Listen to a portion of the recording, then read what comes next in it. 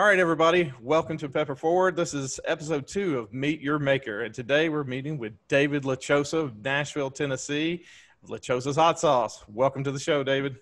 Thank you. Thank you for having me, man. Appreciate that.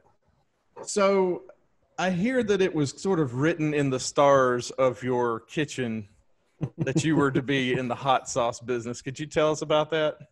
That's funny, man. No, uh, for some people that may not know, I mean, uh, we'll get we'll get into that story in a second. But yeah, originally, originally I came from uh, Spain, so I, I, have a little bit of an, of an, accent here, but I try to hide it. I try to sound uh, like a gringo, as you if you say, if you will.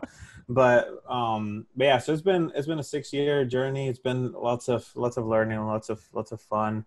But um, I've always loved cooking in Spain, and and there's always been you know, if you know a little bit of the Spanish culture, you know, people show their love basically by cooking for other people and by like taking care of like big families and and that sort of thing. So food is a is a big part of the culture.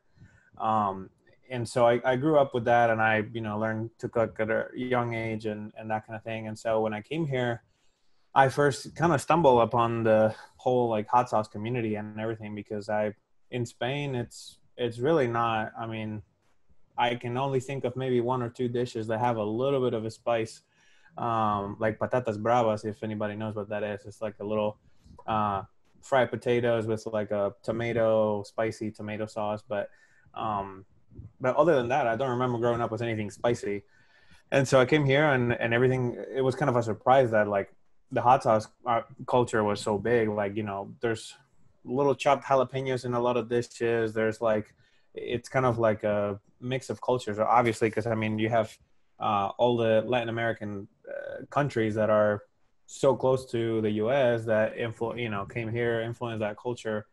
Um, so it's it's awesome to see, and so I, I kind of started trying a bunch of different hot sauces. I'm sure you had that experience as well, and just trying to figure out what you like, uh, what you don't like, and trying some funky ones, trying some average ones, trying some, you know, some super spicy ones and regretting it later. And, um, and so then I was like, you know what? I've tried so many sauces. Why, why don't I just make my own? So I was like, I, I spent some time researching on how to make, how to make sauces and, you know, fermented versus not fermented, that type of thing. And, and I started mixing flavors, doing, doing some things that I thought it would be yummy put together, you know?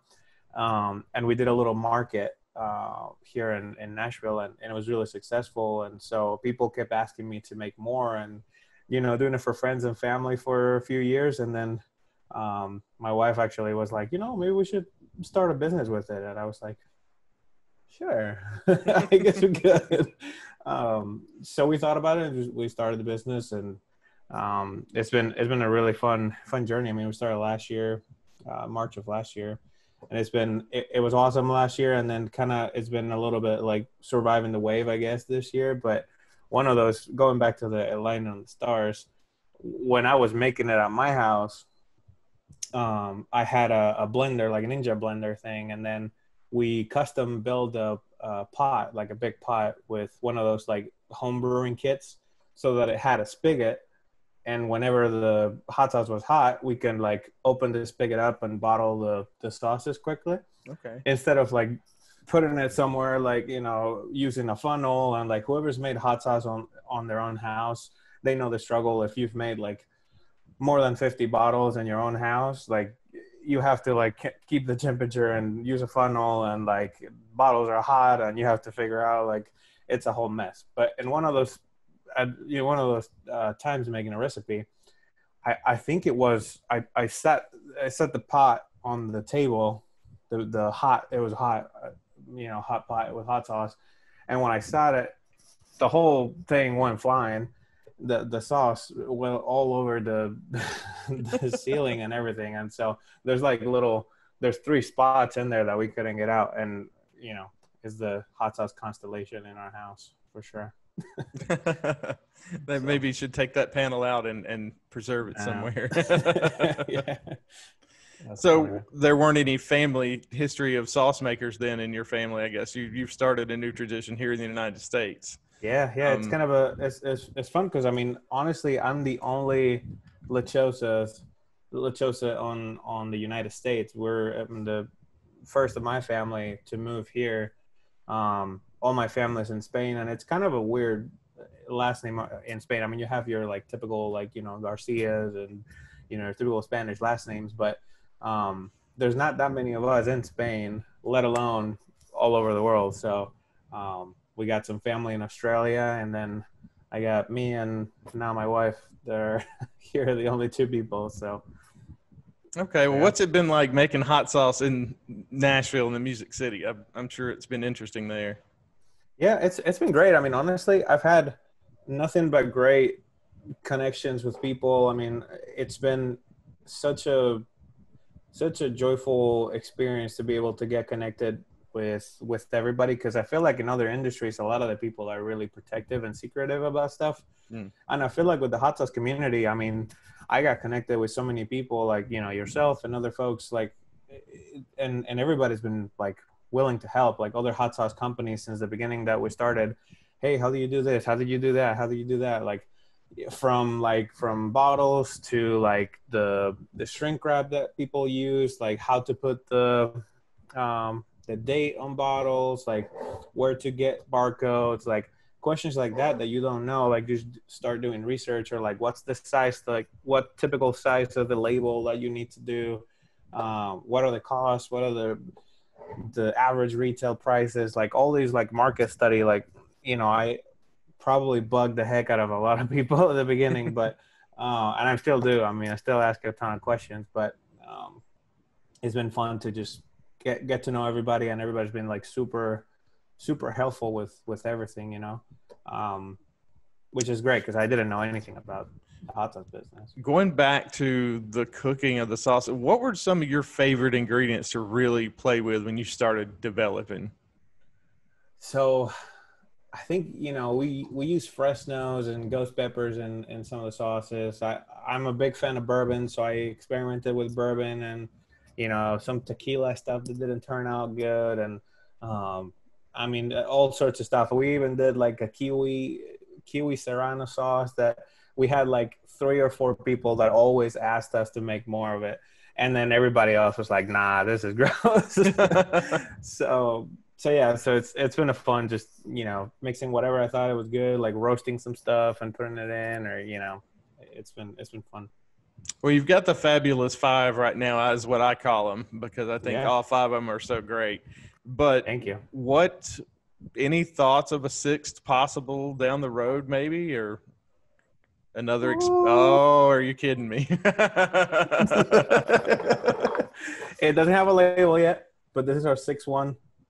Okay. It's not a, it's keep keep it on the down low. It's not announced yet, but okay. This this is our this is gonna be our sixth one, and it's gonna be um it's gonna be called the original, which is kind of funny because you know obviously these are the original five, but right. Uh, the original is we figure the name because it's it's gonna be our mild uh kind of okay. table table, table red sauce. sauce. Yeah. And super excited about this one because I put my Spanish roots into this. I added saffron, which is super expensive, but uh, it gives it a nice, like nice Spanish type flavor. Um, I added a hint of lime on this, which I'm super a fan of. Like just oh yes, super is is mild. It's like your everyday red sauce. It has a hint of lime in it. It's it's awesome. You were speaking my language. yeah, so I'll have to send you one of these. Oh but, my goodness, um, that's exciting we're waiting on labels and all the other stuff that we need to do, but um, I'm hoping to announce that in the next like month or so. But yeah, I, sh- I, had shown earlier. I, my bottle of Ghost is sitting here right next to me, and it's it's nice. seen a lot of love. It took me almost a year to decide that it was my favorite one. I went back and forth between this one and Carolina Madness because um, I like the oh. heat. I mean, as far as the other ones go, it's oh man, it's really hard. I was going to ask you yeah. Which sauce that you made was your favorite? it feels unfair because I, I couldn't decide. Yeah. I was curious if it you just could. depends. it depends on the dish. So yeah. like it depends on what I'm using it with. I do have like three that are probably my top three favorites of all the of all time. Um, but then so the jalapeno, this is this is probably one of our top sellers. The jalapeno and the Carolina Reaper, I think, are probably our top sellers. But okay. um, the jalapeno here, oh boy jalapeno, it's kind of like a really nice fresh jalapeno sauce, like a verde sauce that also has ghost peppers, garlic, and a, few other things. Um, and it's it's simple, but it's also like really tasty, and it has like that jalapeno flavor, but a little bit hotter than the, than what a right. jalapeno would be. Um, but it's still pretty mild, so it's all over sauce. I mean, I you've tried the Carolina. You've you've probably tried other Carolina Reaper sauces that were way over the top. I'm sure. Oh yeah, there's there's a few I've gotten hold of that were not as friendly as the exactly. Carolina Madness. Yeah, so it's Carolina Madness. Obviously, it has some madness to it. It has Carolina Reapers on it, but it also has like raspberries. It has bourbon, onions. Like it has a bunch of different things. It's probably our most funky sauce, I guess you could call it. But I, I've had some people honestly. I don't. Are you a fan of hot sauce on ice cream? Uh, I'd be honest with you. I have yet to find one that I've that I've tried, but I saw online where someone had tried the Carolina Madness with that. yeah, and I have bought some ice cream, and that's probably going to happen this weekend. that's awesome. I've had people. I honestly, I would never have thought to put hot sauce on ice cream. Like that's just crazy talk. Uh, I usually put this on pizza, but um, the Carolina Reaper has a little bit of sweetness to it, so I guess it makes sense. It has like that smokiness from the bourbon. Uh, but I've seen some people put this on on ice cream, on vanilla ice cream, and the peach one as well. The peach okay. habanero. Yeah, the peach. Yeah, had the sweetness. Yeah. Yeah, the peach habanero, I absolutely, I think that bottle's empty. I love that one too, but like you said, the dish really dictates, um, yeah. you know, which one you're reaching for.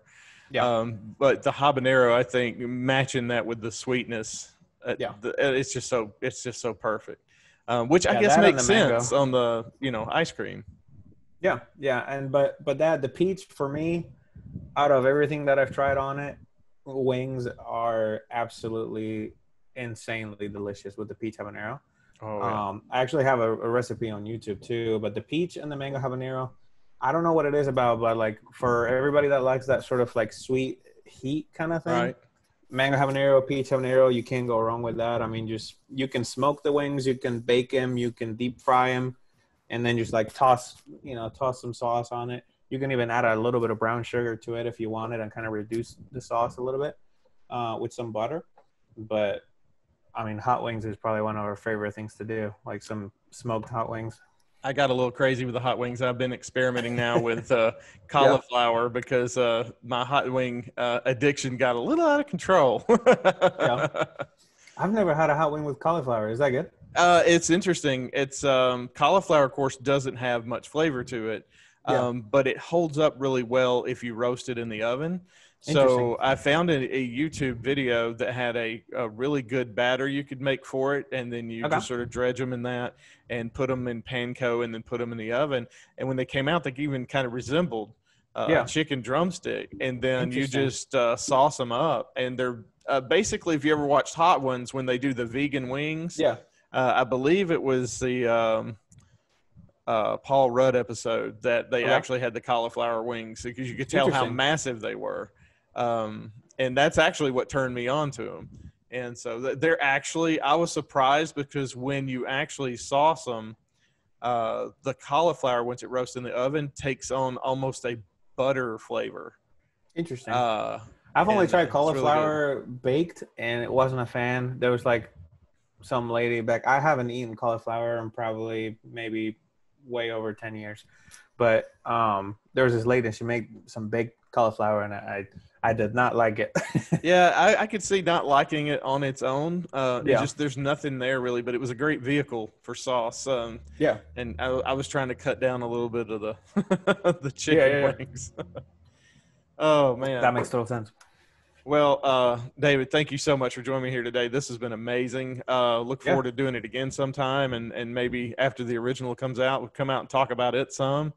Absolutely. Um, yeah, that this has been fantastic. Yeah, man, yeah. I appreciate appreciate you having me. I mean, with with this whole hot sauce journey, I mean, what's have you you know? I know you're you're doing this whole YouTube thing and everything. Have you ever thought of doing anything else, or what's what's ahead for you? What are what are your thoughts? It's funny. Um, I sort of I'm the destroyer of hobbies. Kind of like when your wife told you maybe you should turn your love for hot sauce into a business. That kind of happens to me. Yeah. Um, so who knows? To be honest, because uh, of course, right now I've got a, a game store because uh, my youngest son and I learned how to play Magic the Gathering three years ago. So, dude, that, that was my whole childhood too. that turned into a game store that we've now is fixing to enter its fourth year. That's um, awesome. But you know, with COVID nineteen, things are changing. So, yeah. you uh, have an online store too? Yeah, we we have one. We actually nice. have one, and uh, uh, but still, it's just um, I'm always looking for the next thing. I'm kind of yeah. Uh, I, I, don't I wouldn't consider myself a serial entrepreneur, but I guess I might be close. yeah. And do you have have you ever made like your own games or anything like that? Maybe we should like make some hot sauce game, man. Uh, oh, now that would yeah, be fun. I've seen some of those little hot sauce pyramids where you you have to start off or you ask questions and or you spin a dial, fun. and yeah, I would yeah, absolutely love that. I've always wanted to do one. I think Brian Ames has done some of those on his channel, and yeah. uh, who I absolutely love. Uh, he's got one of the best channels on on the internet. Um, I've watched him wreck his friends with those games, and um, yeah, I, I, would. Yeah, that would be a lot of fun. I would yeah, love to absolutely. do something like that. Well, very good. Thank you for doing this with us today, and uh, I love my family to yours, and hope you guys stay safe, and uh, can't wait to do this again. Yeah, man. You as well. You guys have a good one. You too. All right.